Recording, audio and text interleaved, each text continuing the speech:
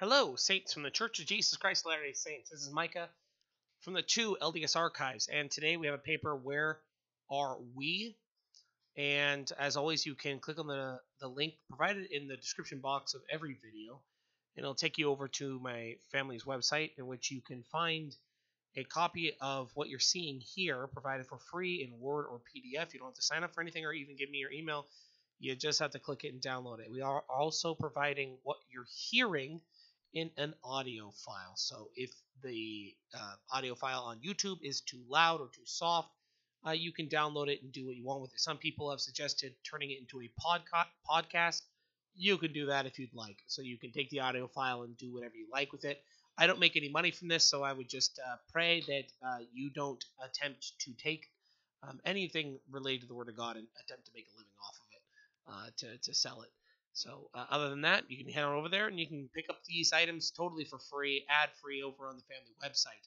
Today we have a very long paper that is almost entirely points of reference based. Now, if you don't know what a point of reference is, you don't even know what that means, I would suggest stopping this video, going on over and watching my points of reference video um, or reading that paper to understand what that concept means.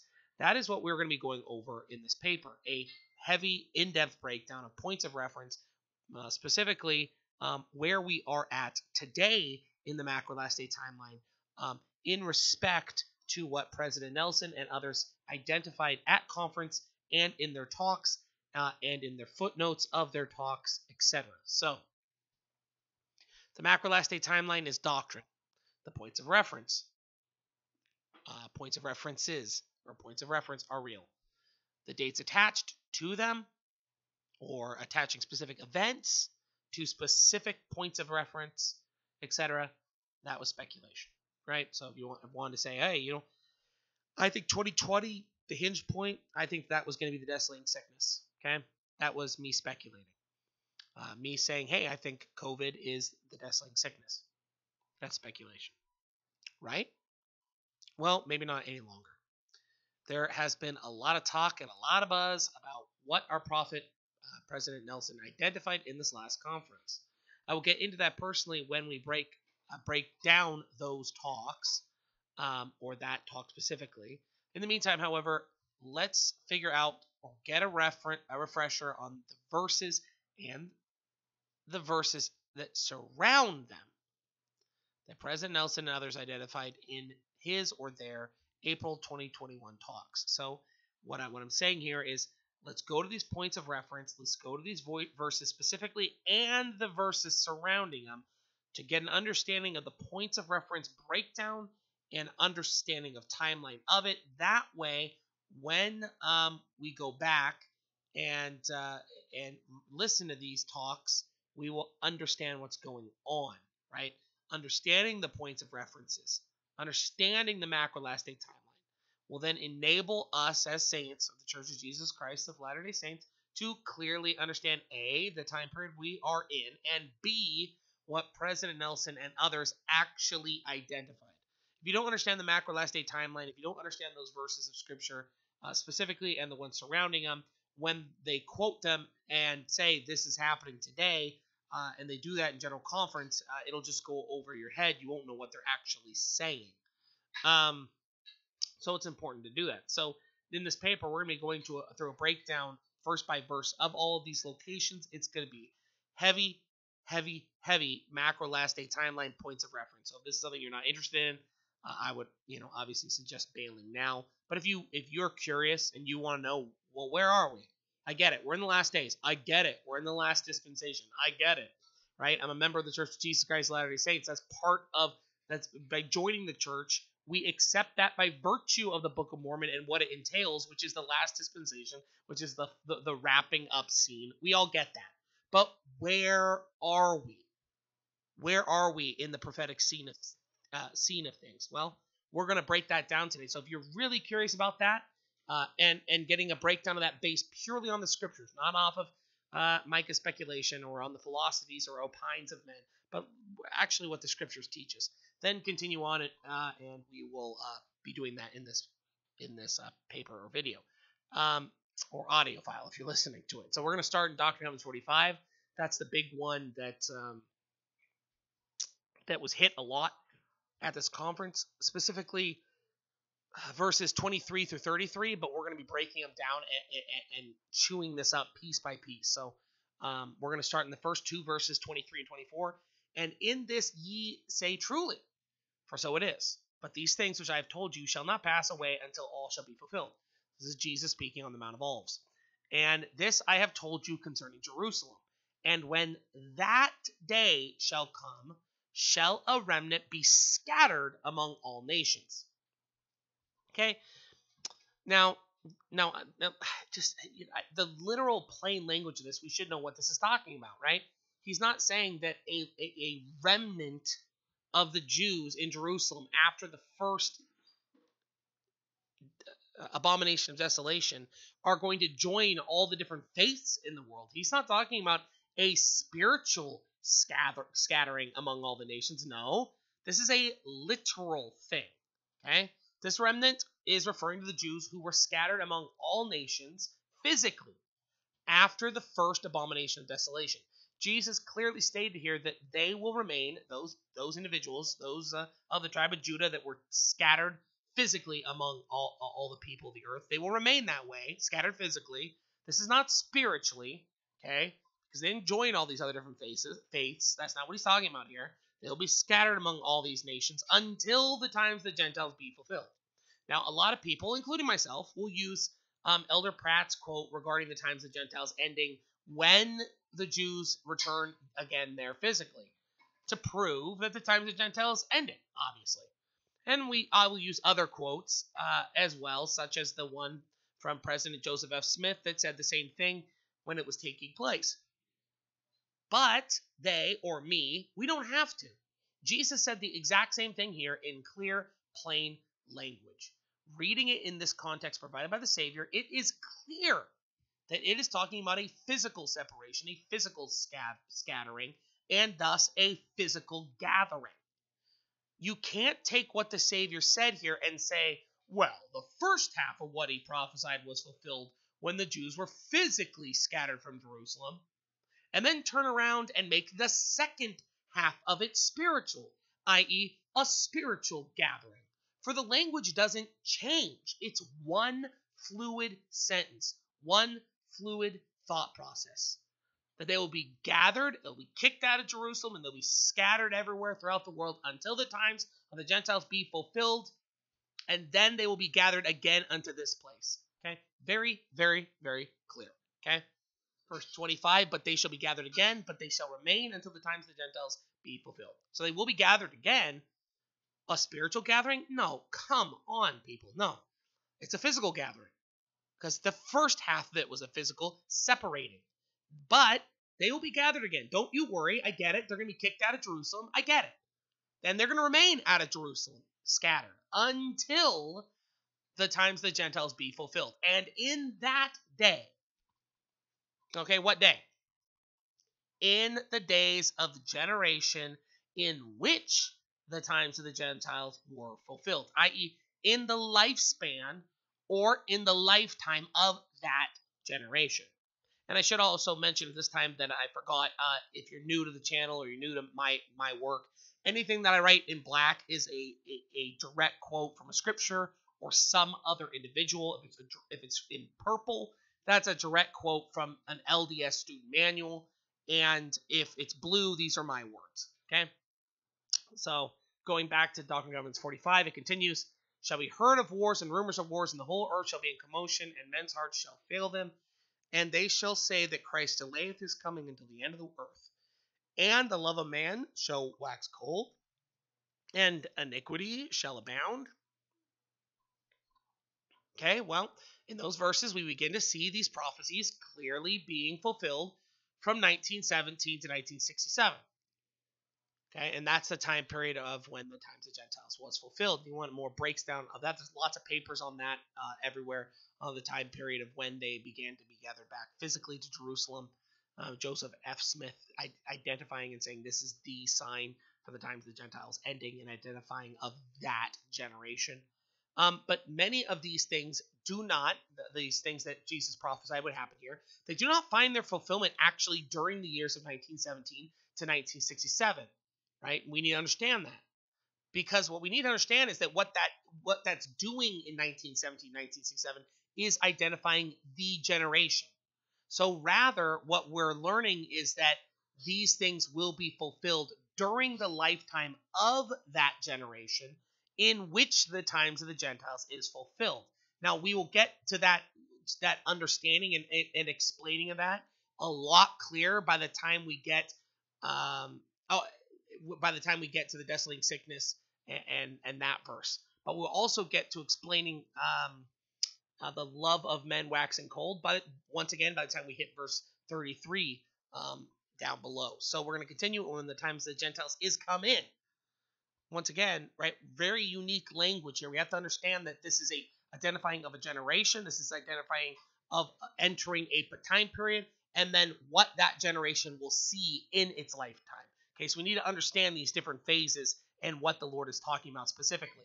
We have to talk about here is come in. What does that mean?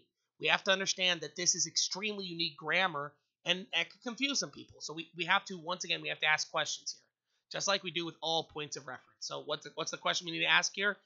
Come in. Well, come into what? What is this talking about?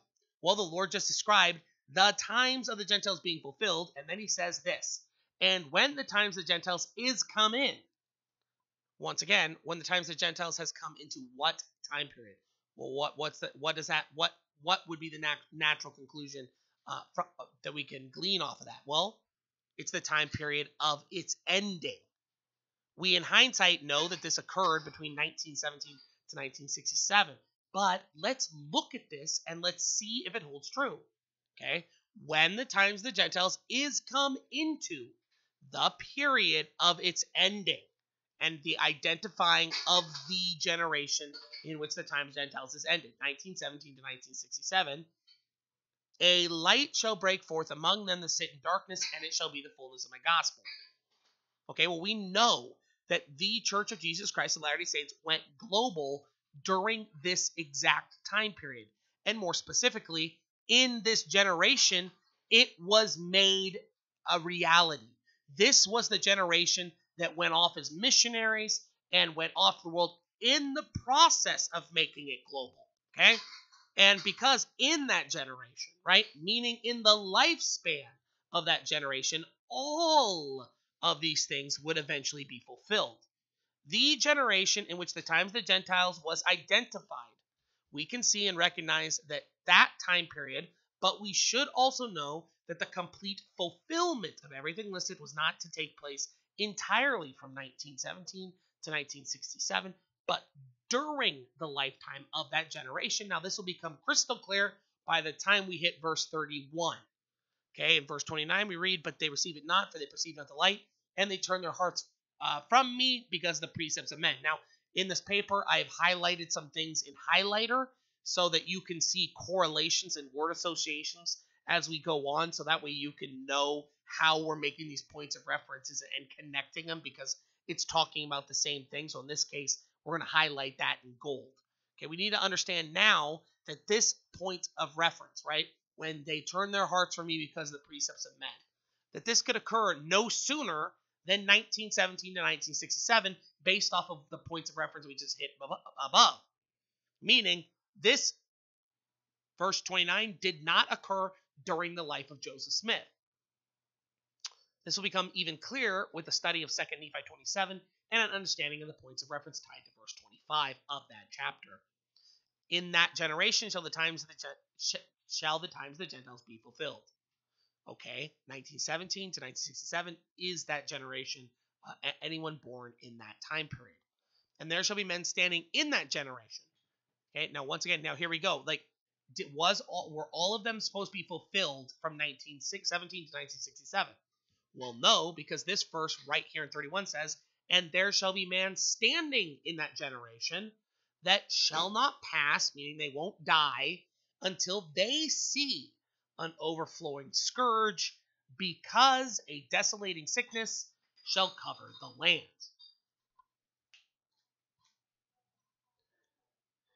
So let's uh, get into this. There will be men standing born in that generation from 1917 to 1967, right? They'll be born in that time period that will not die until they see a desolating sickness that will pave way for an overflowing scourge.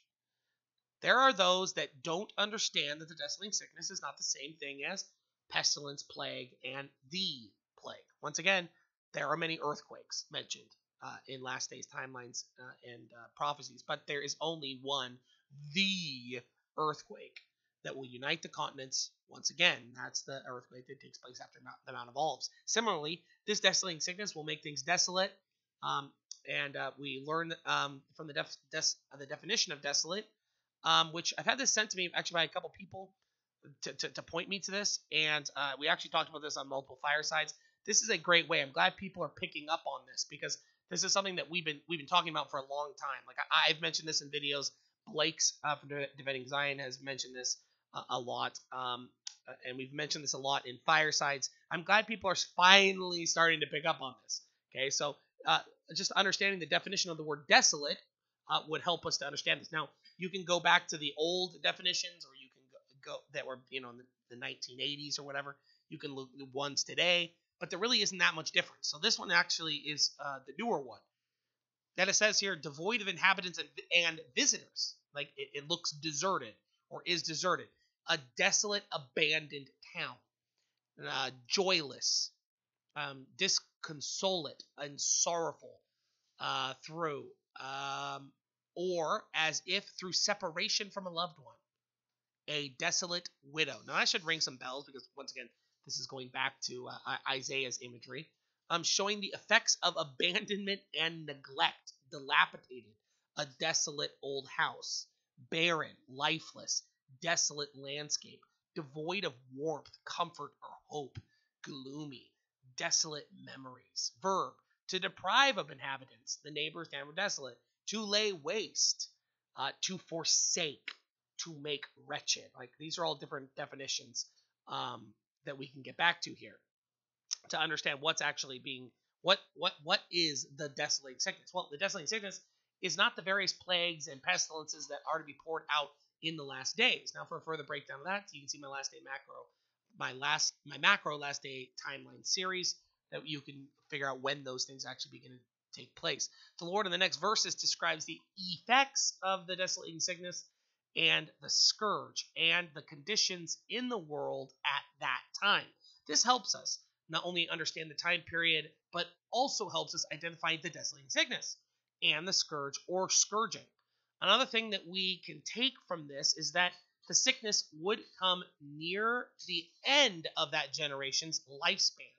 For if it happened earlier in their lifespan, the Lord would have said, ah, it'll come quickly, or this will come quickly for this generation, or it will speedily be upon this generation. But he didn't. You know, opposed to that, the Lord actually said, not all of this generation will have died out before this hits.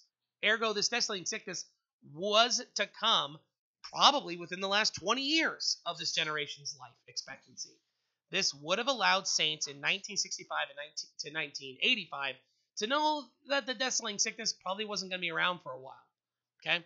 So uh, going back to Doctrine and Covenants 45, read, but my disciples shall stand in holy places and shall not be moved, but among the wicked men shall lift up their voices and curse God and die. And uh, this is interesting because President Nelson told us to um, search out all the promises made to the house of Israel, and um, and then in this last conference he talked about continuing to stand in holy places.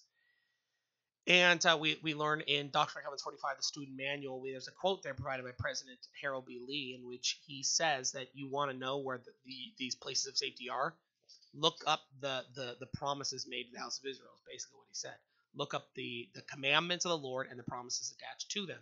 And when you do that, you'll get a good idea of you'll get a good idea of what these are.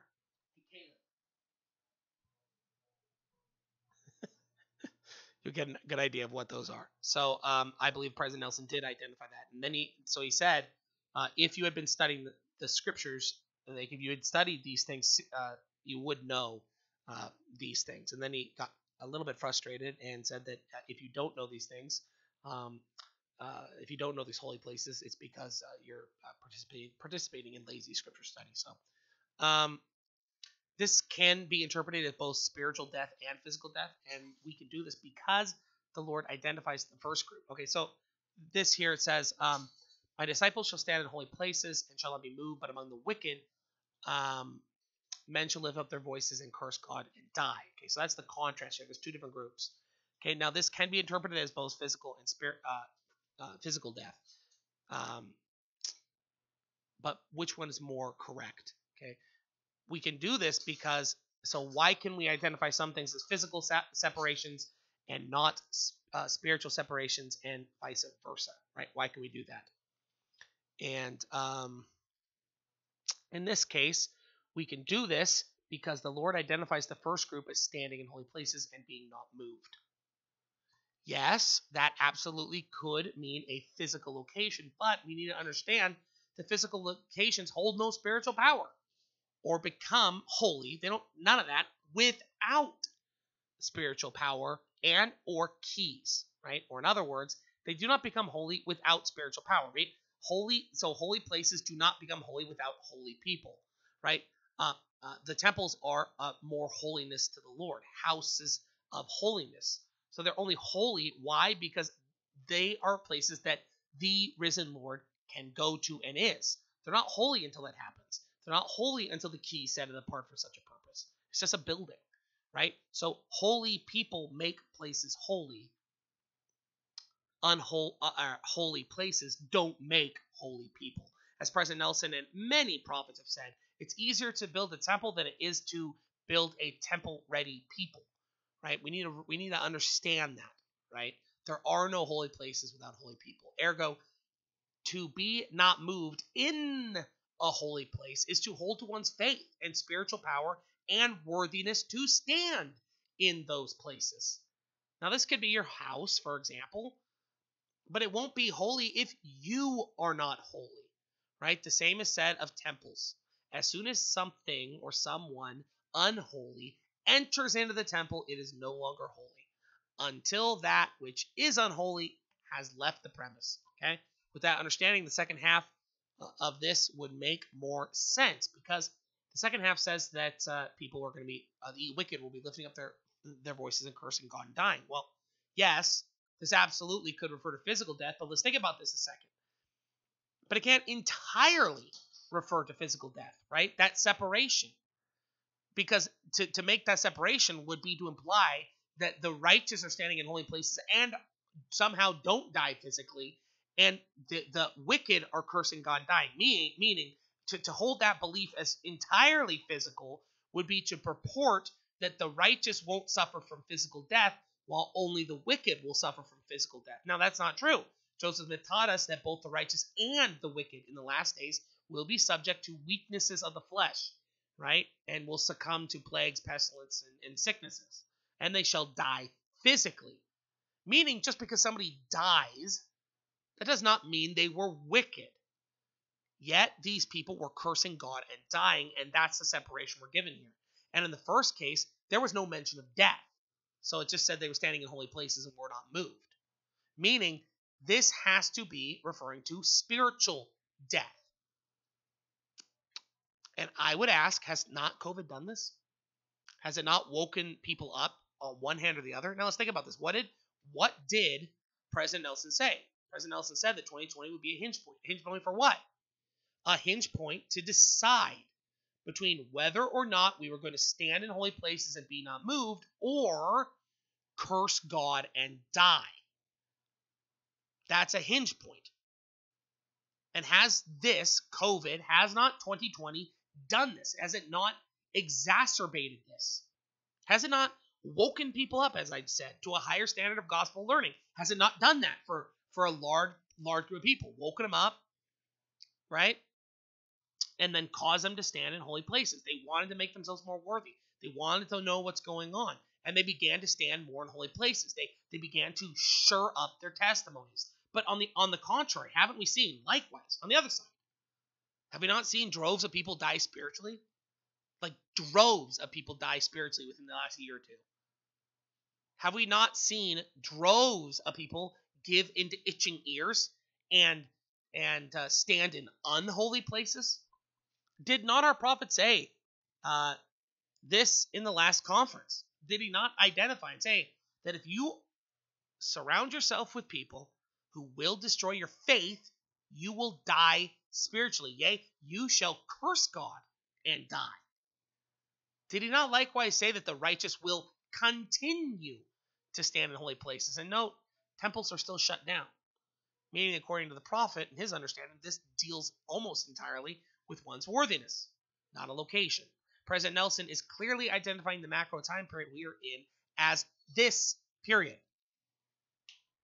The Lord continues to explain the condition of the world during the desolate sickness. And there shall be earthquakes also in diverse uh, diverse places. Also, it's one of those points of reference key indicators that we need to pay attention to. It means in addition to. In this case, in addition to what? In addition, in addition to the desolating sickness and the signs and symptoms of it. Well, did we not experience at this time, at this exact time, an earthquake in Utah, Idaho, Alaska, etc.? One of which even caused uh, Moroni to drop his trumpet at the Salt Lake City Temple. Is this not so far exactly what happened? Okay, let's continue. And many desolations. Okay, well, if this was the plague, now when people refer to the, plague with their eyes and, you know, popping out of their head and all those nasties, they're referring to the uh, trumpets, right? And these are the trumpets that, that start going off after the seven seals open.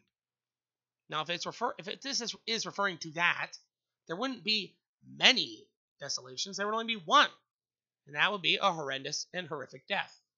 These this desolating sickness, however, it says will cause many desolations. Can we not see all of them? Our churches empty, depression on the rise, obesity on the rise, loneliness, streets empty, etc. It's staggering and overwhelming the amount of examples that we can point to to describe these many desolations. The Lord goes into the next, uh, uh, into next another thing that has been made desolate: the courage of men, men's hearts failing them. And in what or how do men's hearts fail them? Only when they fail to let God prevail. And the act of not letting God prevail is an act of pride that is described thus Yet men will harden their hearts against me. This is the antithesis, antithesis of letting God prevail. We prevail with God when we build upon Him and His rock. When we harden our hearts against Him, it is when we choose our own way versus the Lord's way. This is the point of reference that we are in right now. A test, a test, a test. Will you let God prevail? Will you give the Lord your heart of stone so that he may place in you a heart of flesh? That's found in Ezekiel 36, 26. 36, 26, and we should pay attention to that process because once again, that chapter comes right before Ezekiel 37. So, once again, same types and shadows of how this is going to play out in our day. Or will you harden your hearts? Did we go to the source, right? Did we go to the prophet Joseph Smith? Did we go to the Book of Mormon, etc.? Or did we go to the philosophies and uh, sophistries and opinions of men? Did we decide to develop faith as the brother of Jared? Or did we decide to shorten the arm of the Lord and spiritualize and make figurative his word? That is where we are now. If you have shortened the arm of the Lord and attempted to make figurative his word, well, President Nelson taught that the only reason why you could do this, or you would do that, is because you are pra- uh, participating in lazy scripture study. And you might think that is harsh now, right? Just like those who thought their drill sergeant was harsh now. But there will come a day where if you listened and heeded, despite being upset, well, there will come a day that that frustration and possibly even hatred towards those individuals that were pushing you, it will be replaced with gratitude and love. This is also where verse 27 comes back in our timeline. The love of men shall wax cold and iniquity shall abound. That's from earlier in Doctrine and Covenants uh, 45. Well, let's turn to the Doctrine and Covenants student manual and, and let's learn something here. In Doctrine and Covenants 45, 27 student manual, it asks the question, What will cause the love of men to wax cold? Now, this is great. The expression is the same as found in Matthew 24. Now, once again, um, Joseph Smith Matthew is another solid tie in for this exact same point of reference chain, where we read, translated literally, and because lawlessness has abounded, the love of many, and this include or this indicates more than few, shall wax cold. Love here means Christian unity and harmony. End quote from the LDS Student Manual. So we learn here that what is causing the love of man to wax cold is the molestation of the law. Do we know anything dealing with the Assyrian or scourge, or maybe even what's going on right now with COVID? And the destroying of the laws of the land? Uh, yes. Understanding Isaiah chapter 10, the parable of the nobleman and the olive trees, etc., all teach us this. The Assyrian or scourge will be destroying the laws of the land. 3 Nephi 24, we read, Ye have said, It is vain to serve God. What does it profit that we have kept his ordinances, and that we have walked mournfully before the Lord of hosts? And now we call the proud happy, yea, they that work wickedness are e- even set up, yea, they that tempt God are even delivered. Then they that feared the Lord spake often one to another, and the Lord hearkened and heard. And a book of remembrance was written before him for them that feared the Lord, and that thought upon his name. And they shall be mine, saith the Lord of hosts, in that day when I make up my jewels, and I will spare them as a man spareth his own son that serveth him. Then shall ye return, and discern between the righteous and the wicked, between him that serveth God and him that serveth him not. End quote. In these scriptures, we learn of the same points of reference. The Assyrian or scourge will be molesting the laws of the land, which is causing the love of man to wax cold. Yea, they are cursing God and dying, while the righteous are standing in holy places. And here it is better explained as pockets of saints preaching the word of God and teaching to fear the Lord according to the Lord's precepts, not man's. The Lord then describes in verse 16 and 17 that this is a large part of the test or requirement for the New Jerusalem. Verse 18, we have the return of Joseph Smith, who then judges, once again, the same points of reference. Okay, so what comes next in Doctrine and Covenants 45? And they will take up the sword one against another, and they will kill one another. Okay? Wicked men using false doctrines can kill you with their sword, spiritually speaking. But can the righteous can the righteous using the sword of truth, i.e., the scriptures, kill people? No, right? They don't kill others. Meaning, this reference has to refer to literal bloodshed, literal civil war. That is what is on our horizon, what is in our near future. And we just learned what will be the cause of this. The Assyrian molests the laws of the land. The love of men then waxes cold, and then men start killing each other. This time period is described again later in Doctrine and Covenants 45, but now that we have correctly inserted 3524, our understanding of Joseph Smith's return, the redemption of Zion, and the initial building of New Jerusalem, we now know occurs before the war gets poured out. The Lord here is warning that during this time period, this is your last time to flee to New Jerusalem. For those that will not flee at that time must needs take up the sword against their neighbor. So let's read those up and finish that off in Doctrine and Covenants 45. Verses 63 through 69 Ye hear of wars in foreign lands, but behold, I say unto you, they are nigh, even at your doors. And not many days hence ye shall hear of wars in your lands. Wherefore I, the Lord, have said, Gather ye out from the eastern lands, assemble ye, ye yourselves together, ye elders of my church, go ye forth into the western countries, call upon the inhabitants to repent, and inasmuch as they do not, or as much as they do repent, build up churches unto me, and with one heart and with one mind gather up your riches, that ye may purchase an inheritance, which shall hereafter be appointed unto you. And it shall be called the New Jerusalem, a land of peace, a city of refuge, a place of safety for the saints of the Most High God. And the glory of the Lord shall be there, and the terror of the Lord shall also be there, insomuch that the wicked will not come up unto it, and it shall be called Zion. So once again, the glory of the Lord shall be there, the terror of the Lord, and the wicked won't come up to it. So um, once again, this can't be referring to Salt Lake City because there is plenty of wicked there. And it shall come to pass among the wicked that every man that will not take up his sword against his neighbor must needs flee unto Zion for safety. And there shall be gathered unto it out of every nation under heaven, and it shall be the only people that shall not be at war one with another. Okay, well, let's read more points of reference dealing with this war. Okay, so let's go to and Covenants 87, and that'll give us some more. But let's start at the beginning so we can have a build up because a lot of people are really confused about this chapter. So let's just tear through this chapter real quick. Verily, thus saith the Lord concerning the wars that will shortly come to pass, beginning at the rebellion of South Carolina, which will eventually terminate in the death and misery of many souls. And the time will come that that war will be poured out upon all nations, beginning at this place. For behold, the southern states shall be divided against the northern states. So, one, we have the American Civil War. That's what that's talking about. Continuing, and the southern states will call upon other nations, even the nation of Great Britain, as it is called. Okay, so point two the South will ask Great Britain for aid during the American Civil War. Okay, continuing. And Great Britain shall also call upon other nations in order to defend themselves against other nations, and then war shall be poured out upon all other nations. Okay.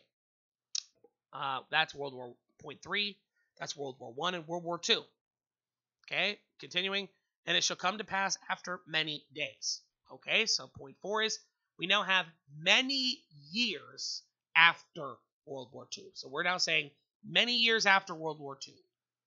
Okay, what do we have? We have slaves shall rise up against their masters, who shall be marshaled and disciplined for war. Okay, so what do we get during that's happening uh, during those uh, during those many years, and then after those many years, we have five masters are becoming marshaled and disciplined for war. That's your Assyrian and scourge. Six, the slaves rise up against them. Well, why are they slaves? Because the laws have been molested. Then we continue, and it shall come to pass also. Okay, so once again, in addition to. When this says also, it means in addition to. But we need to know in addition to what?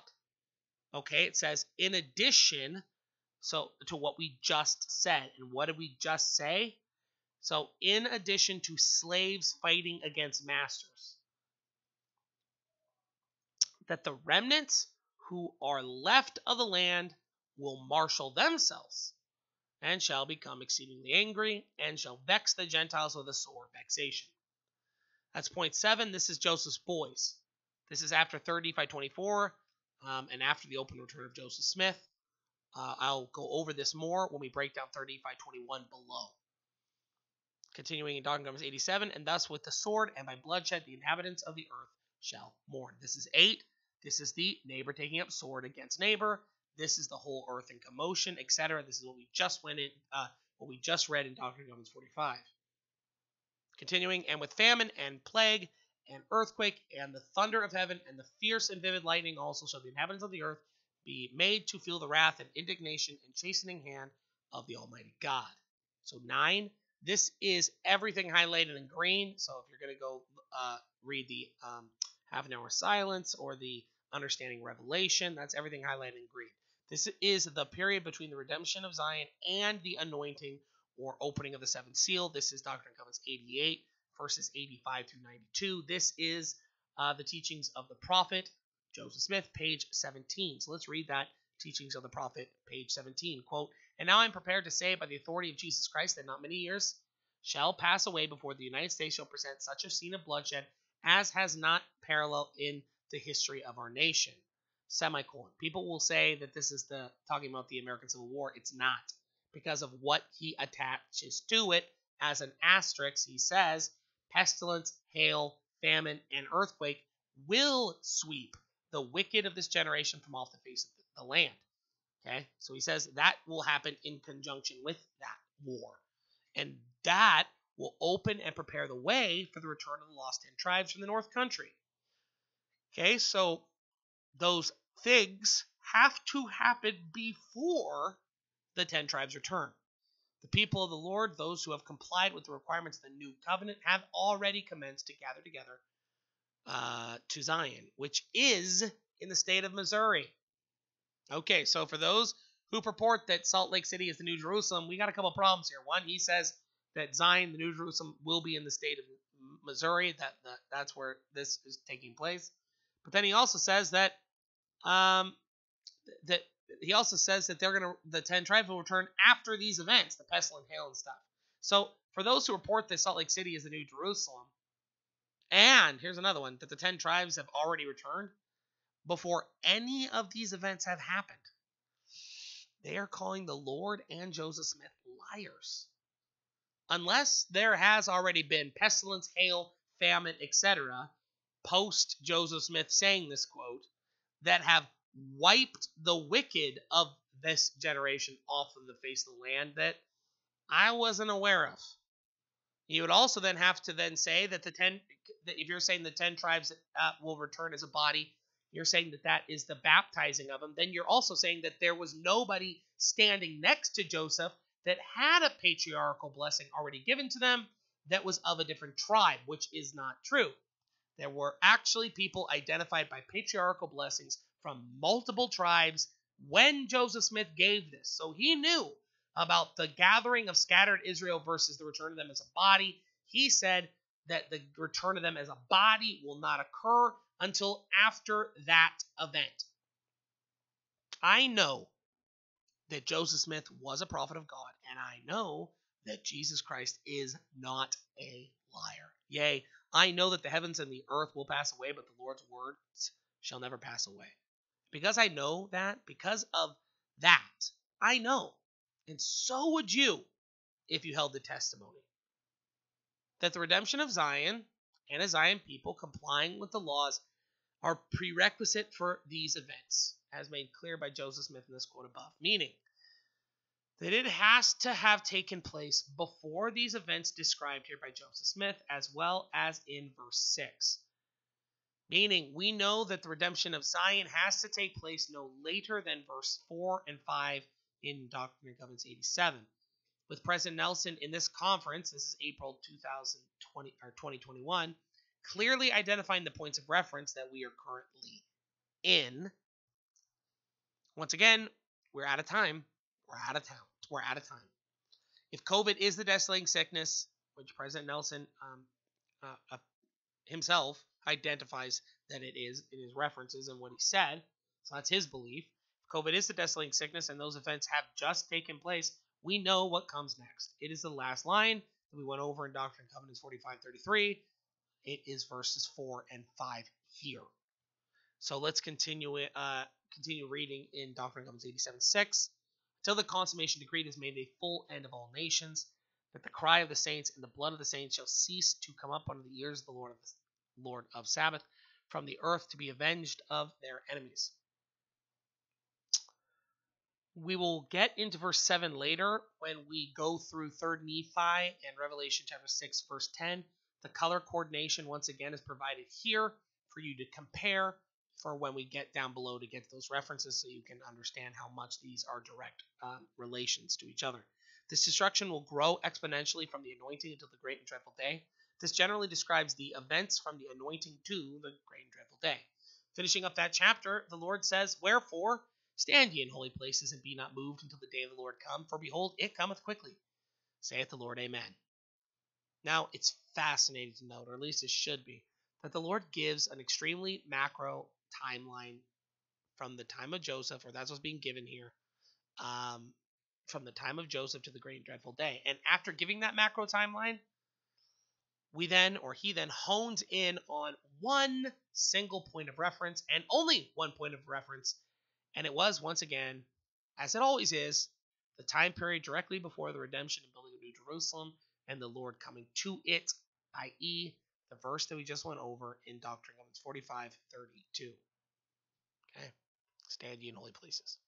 It should be flabbergasting. It should be mind blowing. It should be life altering for saints of the Church of Jesus Christ of Latter day Saints to realize that A, this is the most talked about and prophesied time period in the history of the world save the life of Jesus Christ alone, i.e., the ten virgins, i.e., Doctrine and Covenants 45, the parable of the noble and the olive trees, etc.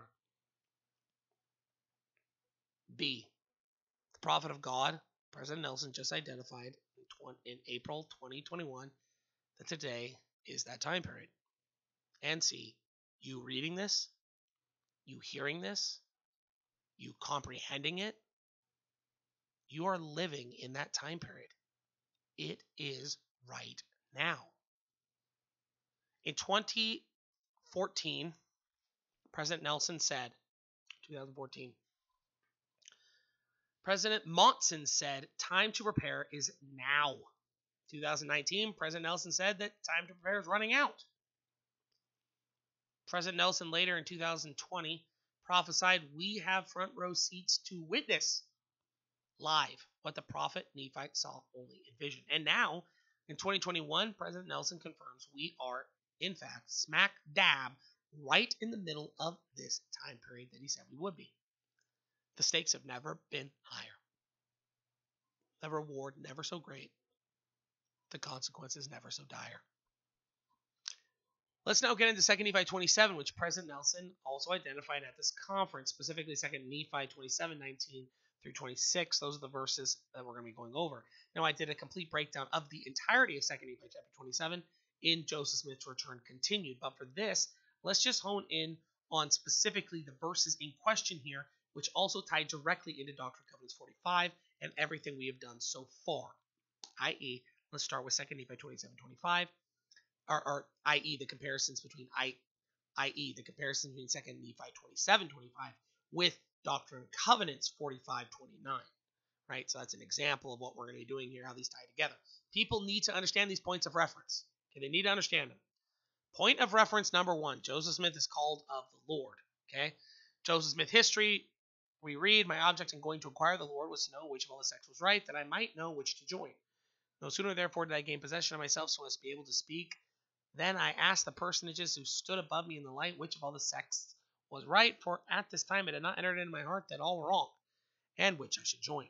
I was answered that I must join none of them, for they were all wrong, and the personage who addressed me said that all their creeds were an abomination in sight, that those professors were all corrupt, that they draw near to me with their lips, but their hearts are far from me. They teach for doctrines the commandments of men, having a form of godliness, but they deny the power thereof. Many in the church are familiar with this point of reference, but they get it confused with verse 25 in 2 Nephi 27, which we'll be going over in a sec.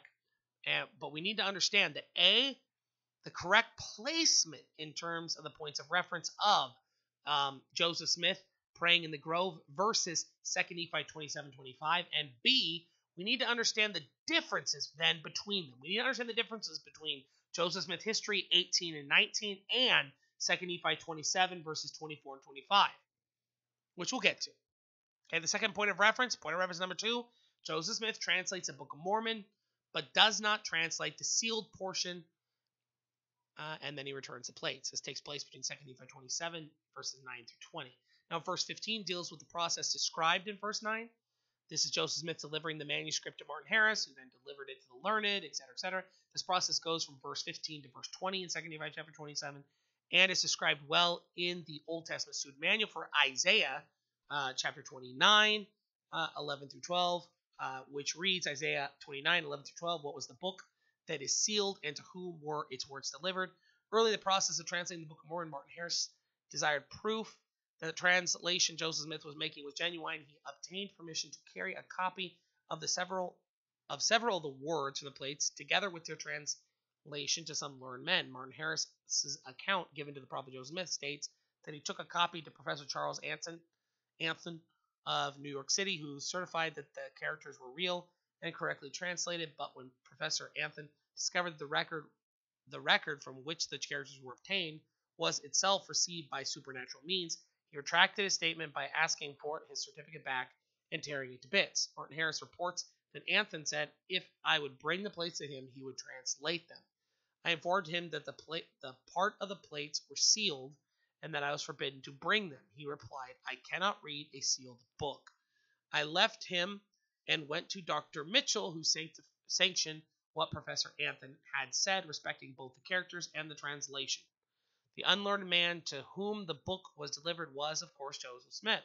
Elder Orson Pratt once said, Now, in regard to Joseph Smith's qualifications or attain, uh, attainments in learning, they were very ordinary.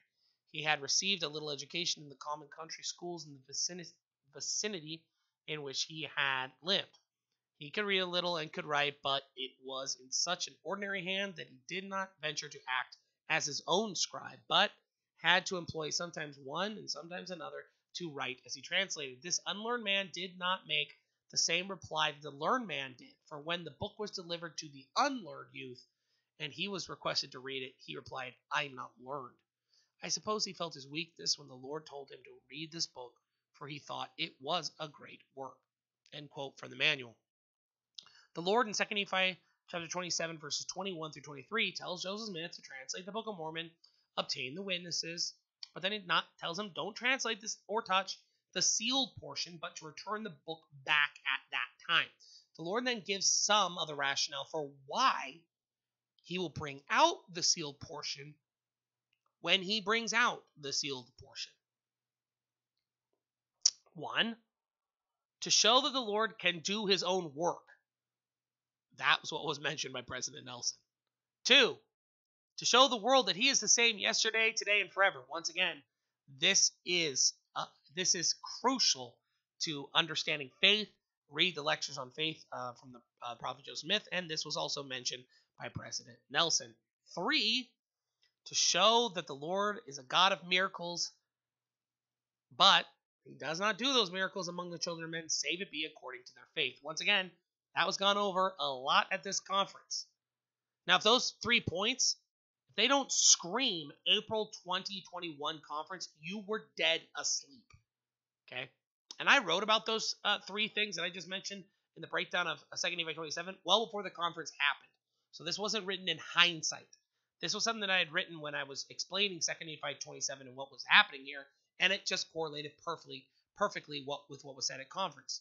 Those three things are what we're suffering from, and the Lord said He will bring those sealed portions back when we're suffering from those three things.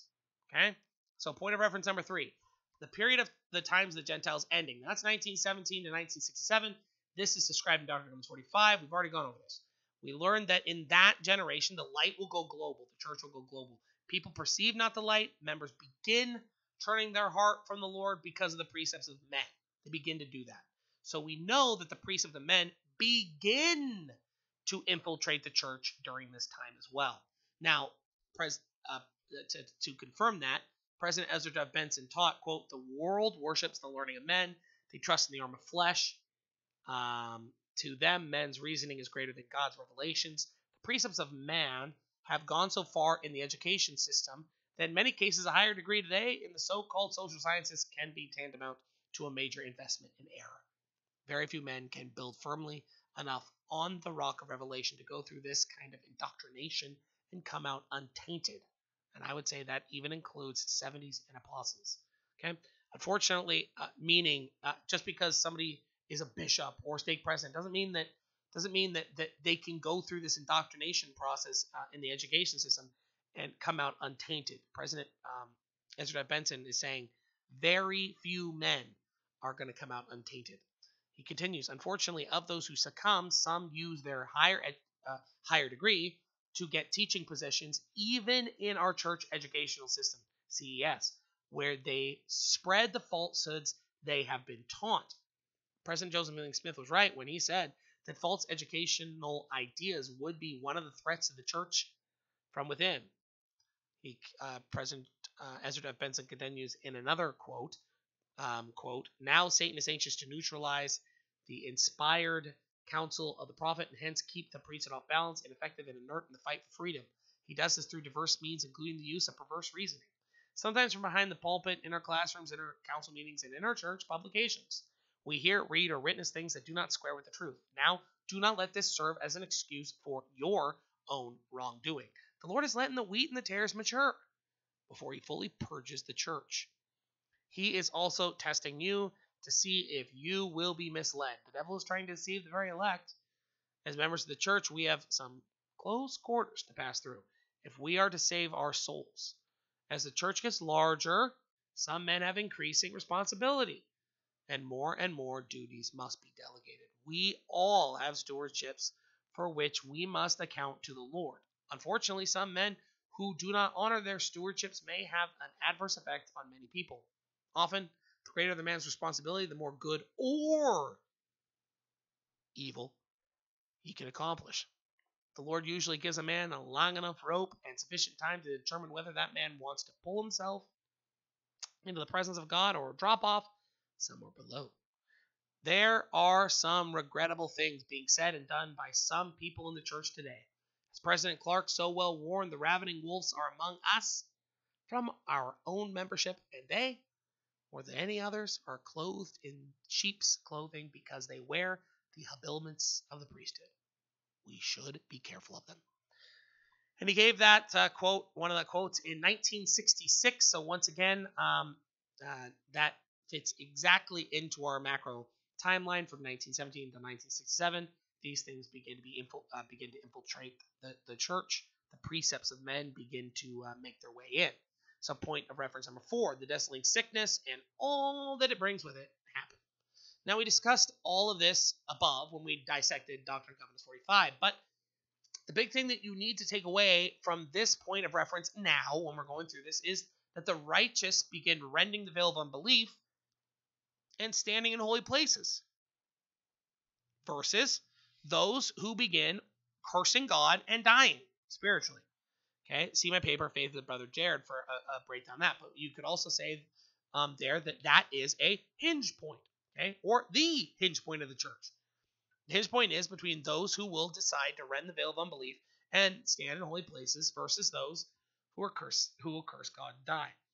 Okay, let's uh, keep going. Point of reference number five: Joseph Smith returns. Now, We'll get into this later in the paper when I go through 3521, but for even more breakdown on that, see Joseph Smith Return, Joseph Smith's Return Continued, etc. And for an exceptionally good paper that will take you through all the points of reference that we've just got over, and then some, and then the return of Joseph Smith, see my paper, The Parable of the Nobleman and the Olive Trees, which once again is another one that just goes over these exact same things, one things as well. I don't go over the Parable of the Nobleman and Olive Trees in this, and I don't go over Joseph Smith Matthew 24.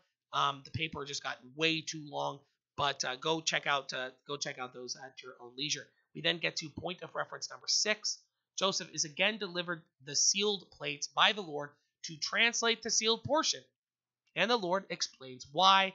Now we're at 2 Nephi 27 verses 24 and 25 with the Lord explaining. Okay, one.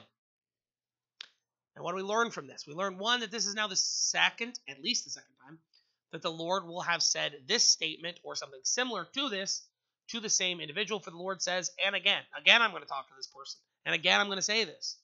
Second thing is, is that there are some major differences between the first time the Lord said this or said something similar to it, and this time now described in 2 Nephi 27 25. Now, with that understanding, it allows us to more clearly understand when this takes place and why there are changes. This takes place after Joseph has obviously finished his work and has returned the plates. But it, it takes place directly before the Lord brings forth the sealed portion. That is where we are at with the points of reference. But what about the changes? Why did the Lord make those changes? Well, there are two major changes, and, and we should identify them because they're important.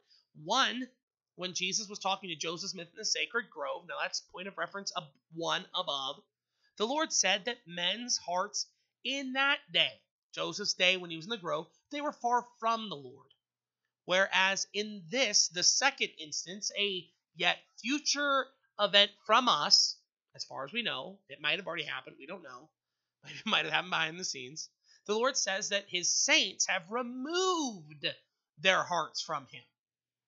This once again harkens directly back to the parable of the nobleman and his olive trees. And back to point of reference three above. But in point of reference three above, this was beginning to happen. By this point, point of reference six, the transformation is utterly complete. The second thing that we, we learn, the second difference is when Jesus was talking to Joseph in the sacred grove, he said the commandments were taught by men who had a form of godliness, but they denied the power thereof. Whereas in this instant, a yet future event from us, once again, as far as we know, The Lord says the saints will be taught to fear him, to fear the Lord, according to the precepts of men. Once again, this is what was taking place in point number three above, but now it's reached completion by the time it hits point six. In the next couple chapters of second uh, uh, of Nephi, from Second Nephi 28 to the finishing of the wrapping up of Nephi's writing, Nephi warns the saints in that time period, which is our time period, of the state that they are in. A state that I believe we are currently in today. It's our time period. But for which President Nelson just confirmed that we're in. Second Nephi 28 and 29 are chock full of references dealing directly to the saints of today in this state of mind. They have removed their own hearts from the Lord, idolatry, and no longer fear the Lord because they are taught according to the precepts of men, priestcraft. Some might be saying right now, but what about secret combinations, Micah? You always talk about those. Well, you won't have to wait long. They are found in 2nd Nephi 27 27, the very next series of verses, but I won't be going into those in, these, in this paper because it's already gotten too long. So let's jump to point of reference number 7 the marvelous work and a wonder. Okay, as we continue in, in 2 Nephi chapter 27. 2 Nephi chapter 27, 26, therefore I will proceed to do a marvelous work among this people, yea, a marvelous work, and a wonder, for the wisdom of their wise and learned shall perish, and the understanding of their prudent shall be hid. If we go to the LDS student manual under 2 Nephi 27, verses 24 and 28, we read, a marvelous work and a wonder.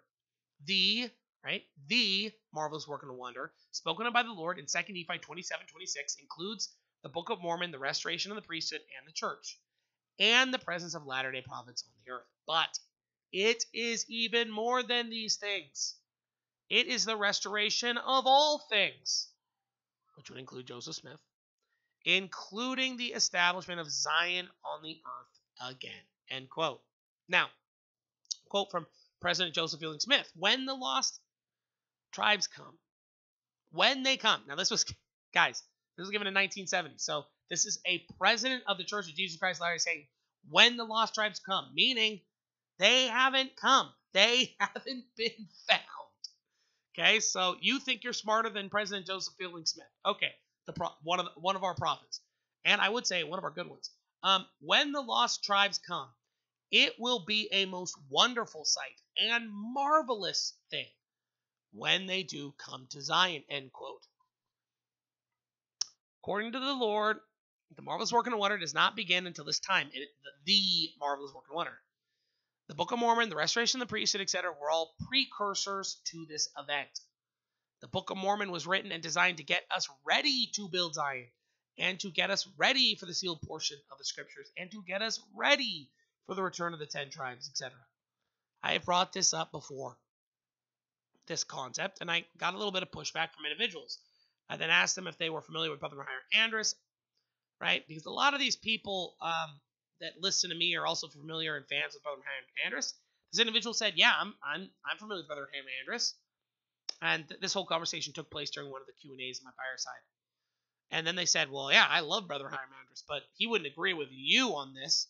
So below is a transcript from Brother Hyrum Andrus' lecture, "Christ's Coming to Zion, Jerusalem, and the world. And I include it here because um, there are a lot of people that um, like Brother Hyrum Andrus, and so um, I, I I know that his words, like my words, don't mean as much compared to the words of prophets and apostles and such. But uh, Brother Hyrum Andrus does, for the most part, a very good job of making the words of the prophets and apostles speak for themselves. So, um, and so people like him. So let's read what he has to say about this. Therefore, I, I will proceed to do a marvelous work among this people and a wonder. Now, that marvelous work and wonder, according to the angel Moroni to Joseph Smith, is a work subsequent to the coming forth of the Book of Mormon.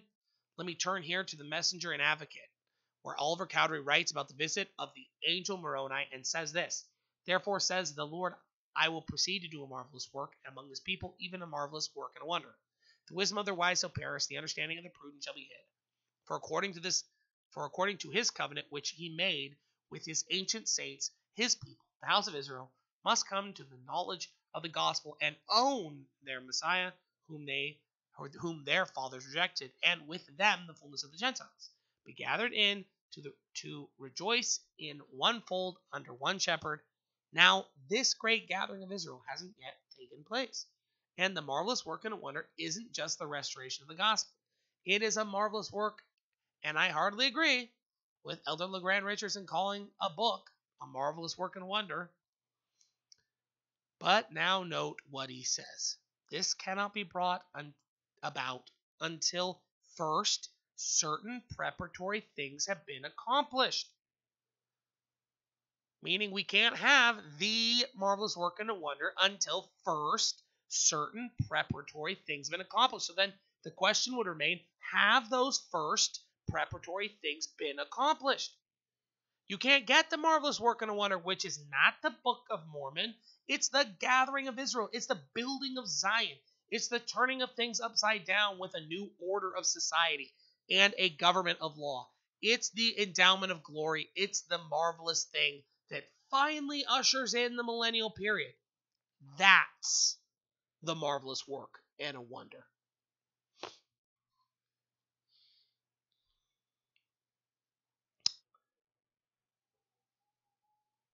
That uh, the marvelous work and wonder puts it in this latter day context when you are finally going to redeem Israel and establish Zion. That is the marvelous work and wonder. And the endowment of Zion with glory, the cloud by day and the pillar of fire by night. End quote uh, from Brother Hyrum Andrus. So, simply put, this is the marvelous work and wonder that will be so miraculous that, as Jeremiah put it, we will altogether stop talking about Moses. This involves the, the resurrection of Joseph Smith, obviously the beginning part of it, which is now once again proved by the Lord identifying Joseph Smith as the person who will once again receive the sealed portion and translate it. And if Joseph is dead, he must be resurrected in order to do this work. Somebody asked me, why can he translate the other side of the, veil? Um, uh, jo- I we, we, we need if, if you're asking that question, we need to do some studying on what's the difference between a spirit body and a physical body, and uh, you know why did uh, Joseph Smith say one of the ways that you can identify a spirit um, is by asking to shake his hand, and that uh, and that you know spirit does not affect or touch um, things the same way. So you know there's a reason why uh, Moroni was had to be resurrected before he could hold and um, bring Joseph the plates via his own hands. And so, and, and then what would he write on? What would Joseph Smith write on? So be writing on spirit paper, like like uh, we we need to have an understanding of of um, spiritual matter and physical matter. And Joseph Smith will need to have his physical body in resurrection in order to do this physical work for the translating of the plates and writing it down on physical paper that we on this earth can then read. Okay, so th- that just can't happen. This point of reference ties directly into the parable, but somebody else said, "How quickly can you translate it?" That I that we don't know. Could be weeks, it could be months, it could be years. I that I don't know. This point of reference ties directly into the parable of the nobleman and the olive trees, Joseph's boys, understanding Revelation, chapter six and seven, all of them. It's also important to note that the last line in verse 26, uh, in chapter uh, Second Nephi 27, verse 26, almost assuredly then, by virtue of all this, it has reference entirely to members of the Church of Jesus Christ of Latter-day Saints. This becomes crystal clear by the time you hit verse 35 in the same chapter. We're not going to get into that in the paper, but if you're interested in that, I'd recommend go check it out. Now that we have done, now that we are done with 2nd Nephi 27, so now we've gone through that. We've gone through those points of reference, which I've just gone over and numbered them for you. And we have identified the marvelous work and a wonder, right? Now that we've understand that, we will now be able to completely understand 3 Nephi 21. We'll also be able to understand when when um, uh, when President Nelson said that uh, he had a better understanding of why the Lord or how the Lord will be able to do his own work in the last days. So now that we understand that, let's go to 3 Nephi 21 and let's tie that into this same macro last day timeline. Quote, and when these things shall come to pass, that thy, that thy seed shall begin to know these things, it shall come, it shall be a sign unto them that they may know that the work of the Father has already commenced unto the fulfilling of the covenant which he has made unto the people who are of the house of Israel. Okay, this is the Lamanites blossoming as rose. That's that prophecy. Um, I, I, it's not that big of a prophecy. People keep asking for that paper. It's like literally a page and a half. I should just post it. Um, it's it's not that uh, that long, but that is referring to that prophecy. Now, it's interesting to note if you understand what this prophecy prophecy um, really is about that those uh, who were to understand this, where he says, You will come to know these things, as a completion to the prophecy, were actually not the Gentiles or Ephraim, but rather the literal and adopted ancestors of whom the Lord was speaking to. Thy seed shall know these things, right? So as soon as thy seed begin to know those things, them, right? Manasseh. As soon as Manasseh begins to blossom as a rose and know these things, not Ephraim, we've known this for a while. Uh, you know, as soon as they begin to truly understand that, then um, that'll this will the next things will happen. This is a point of reference, and so it's important to include it here before we continue. Which is interesting because maybe maybe waking up Manasseh and getting them to realize this is a huge, a lot, a lot bigger indicator for the return of Joseph Smith. Maybe uh, we've overlooked that. So, um, getting more and more of these um, literal and uh, adopted ancestors of of of this seed to wake up to this reality uh, is important. So, um, or was important rather. Um, continuing, and when that day shall come, it shall come to pass Okay, let's stop there, right? Those are point of reference words. It's important to know it, note with the point of reference, right, when we understand this, that the word also was not used here. Okay? But rather, this sentence was used, meaning what comes next is not in addition to, but rather it is subsequent to, meaning it happens after. For us, in hindsight, that obviously has to be true because the Lamanites have blossomed as a rose long ago uh, many years ago. But the other things that were listed here have not happened, right? So there can't be a conjunction here. It is, and when that day shall come, it shall come to pass. So when that happens, something else will happen um, after that, right? But if you were reading this back in Joseph Smith's time, um, it, and you were trying to dissect this sentence and trying to create a more accurate macro last day timeline, you'd have to take that into consideration. It then continues that the king shall shut their mouths for that which had not been told them shall they see, and that which they had not heard shall they consider. For in that day, for my sake, shall the Father work a work which shall be a great and a marvelous work among them, and there shall be among them those who will not believe it, although a man shall declare it unto them. But behold, the life of my servant shall be in my hand. Therefore they shall not hurt him, although he shall be marred because of them. Yet I will heal him, for I will show unto them that my wisdom is greater than the cunning of the devil. This is once again the marvelous work and a wonder. And once again, just like in 2 Nephi 27, we have confirmation that the resurrection and return of Joseph Smith is integral to that point of reference. If you are confused about how this is a reference to that, see my paper, Joseph Smith Return, or simply check out the footnote for marred provided by the church, okay, in provided in verse 10.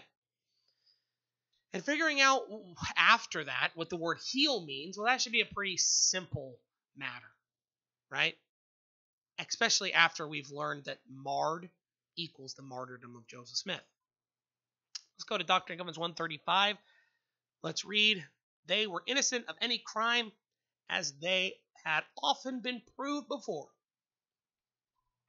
and were only confined in jail by the conspiracy of traitors and wicked men and their innocent blood on the floor of Carthage jail is a broad seal affixed to Mormonism that cannot be rejected by any court on earth. And their innocent blood on the, oh man, escutcheon of the state of Illinois with the broken faith of the state as pledged by the governor is a witness to the truth of the everlasting gospel that all the world cannot impeach, and their innocent blood on the banner of liberty and on the Magna Carta of the United States is an ambassador for the religion of Jesus Christ that will touch the hearts of honest men among all nations, and their innocent blood with the innocent blood of all the martyrs under the altar that John saw will cry unto the Lord of hosts till he avenge that blood on the earth. Amen. Okay, and I've highlighted words here that we should pay attention to. Now let's turn to Revelation chapter 6. And uh, let's read here. And when he opened the fifth seal, I saw under the altar. So once again, you need to understand that this is after the fifth seal is opened. I saw under the altar the souls of them that were slain for the word of God and for the testimony which they held. And they cried with a loud voice, saying, How long, O Lord, holy and true, dost thou not judge and avenge our blood on them that dwell on the earth? And white robes were given unto every one of them, and it was said unto them that they should rest yet for a little season until their fellow servants also and their brethren should be killed as they were, should be fulfilled. And I beheld when he had opened the sixth seal. So this happens subsequent to that. And lo, there was a great earthquake, and the sun became black as sackcloth of hair, and the moon became as blood, and the stars of heaven fell on the earth, even as a fig tree casteth her untimely figs when she is shaken in a mighty wind. Now this one's interesting one. I you know I wish people would uh, pick up more on that one. That was a fun one. So the Lord says in Doctrine and Covenants 45 that um, that when the times of Gentiles are fulfilled, that will be your sign that the fig tree is sprouting forth its leaves. So you're going to know summer is nigh at hand. So the tree then during the summer, right, and during the summer would be during the life of that generation, they were to grow fruit trees or uh, fruit uh, uh, figs, right? They were to grow figs. That was the job of the tree. But what and and what what does that mean? That means build the tower. That means redeem and build New Jerusalem. Okay. But what is an untimely fig? An untimely fig is a fig that never ripened. Right? It was too slow to ripen. It wouldn't get it done. So then what ends up happening is is that and winter is coming. Right? You're out of time.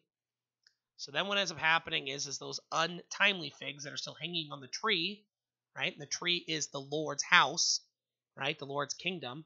When the Lord first goes to his house and um, chastens his house, as with a whirlwind, i.e., with a mighty wind, um, uh, it'll be just like that event, right? So, anyway, they're all tied together. It's a dualism prophecy tied to that. So, Anyway, very interesting concept. I actually included the references to follow that chain if you were interested into it in, in it in my community tab. And the heaven departed as a scroll when it is rolled together, and every mountain and island were moved out of their places.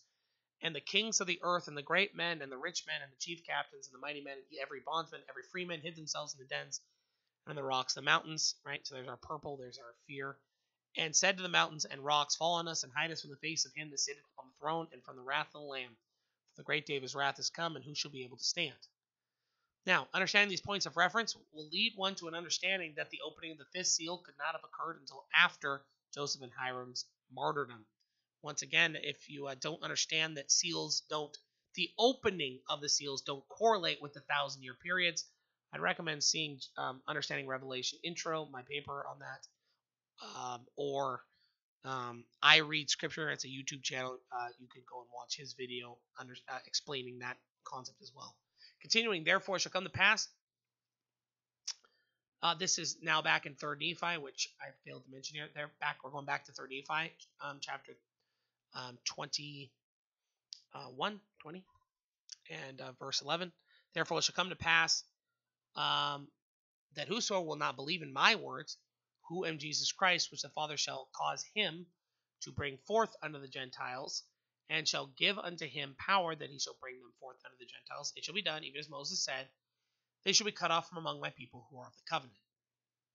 Okay, this is Joseph Smith bringing forth the sealed portion that we just went over in 2 Nephi 27.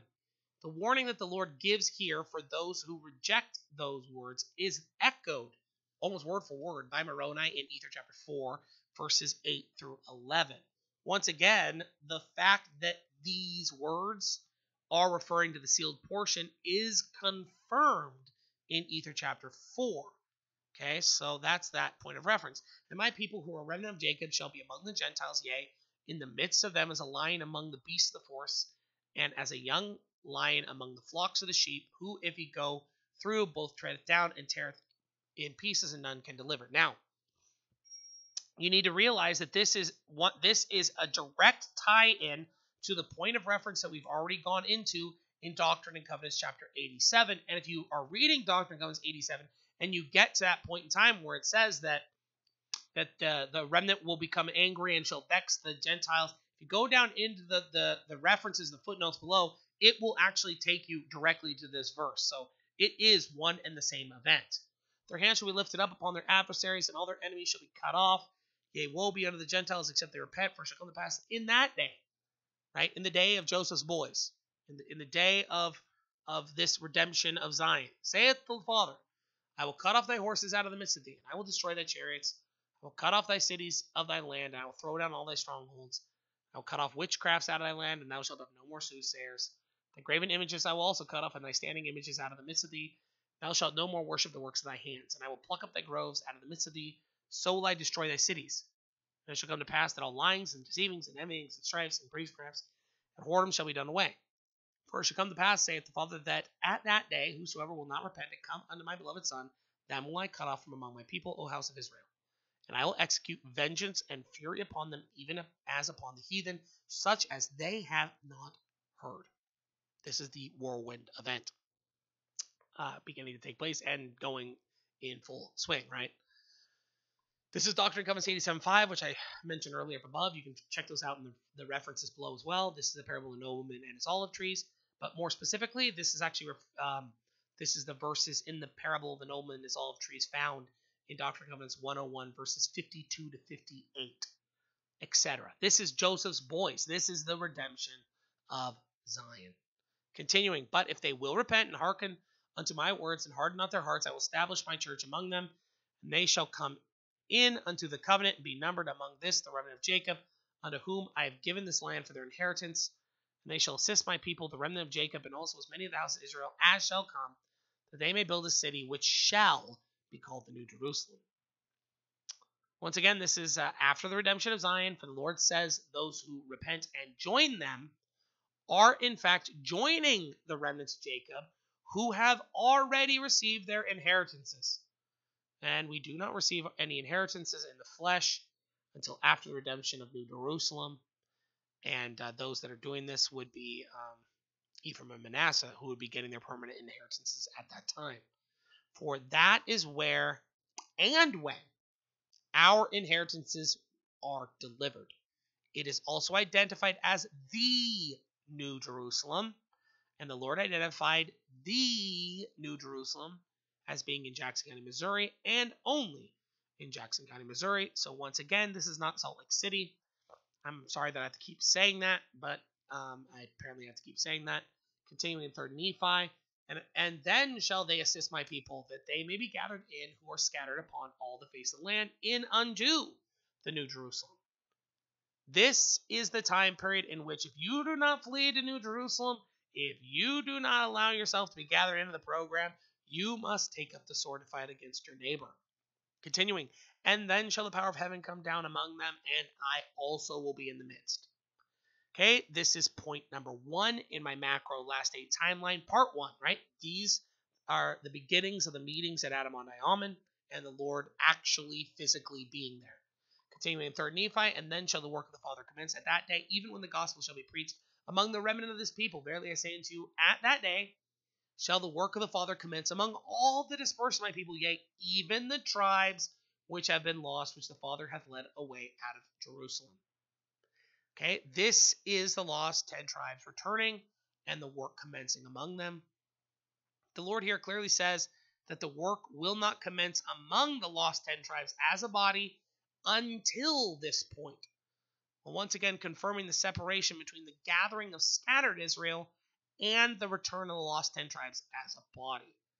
After the 10 tribes return, 12,000 of each of the tribes will be selected to form the 144,000, which will then go off and sweep the earth as like a flood to gather out the Lord's elect. This is the second time the Lord will set forth his hand to save his people. This is the day of the hunters of men.